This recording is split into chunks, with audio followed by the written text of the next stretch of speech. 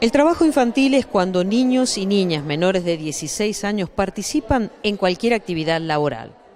Algunos efectos del trabajo infantil es que priva a los niños y a las niñas y adolescentes de disfrutar de su infancia, interfiere en la enseñanza obligatoria, priva a los niños del tiempo de juego, recreación y descanso, obliga a asumir esfuerzos y responsabilidades laborales propios de los adultos. Representa perjuicios en el bienestar físico, mental, afectivo, social y moral. ¿Cómo van a trabajar para tratar de erradicar esto?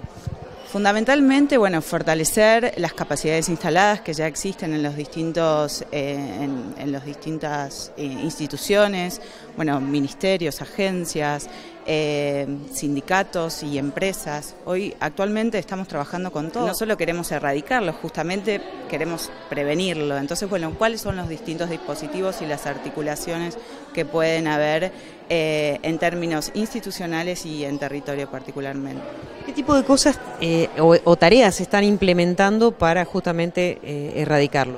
Bueno, el Plan Nacional, eh, que tiene plazo de vigencia 2018-2022, tiene seis objetivos y uno de los objetivos, el primero, es el de difusión, capacitación y sensibilización a, público en general, actores, sobre todo a actores de la sociedad civil, a funcionarios.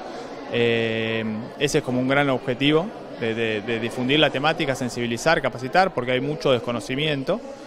Eh, eso, eso se viene trabajando muy bien. Después hay otros objetivos, por ejemplo el de medición, que con la EANA eh, se ha avanzado mucho. Y como les decía, un objetivo sobre el que estamos trabajando fuerte y hay mucho para trabajar todavía, y mejorar la articulación entre el nivel nacional y el nivel provincial. En la Argentina, el trabajo infantil está prohibido por ley y se sanciona penalmente a quienes se beneficien económicamente con él.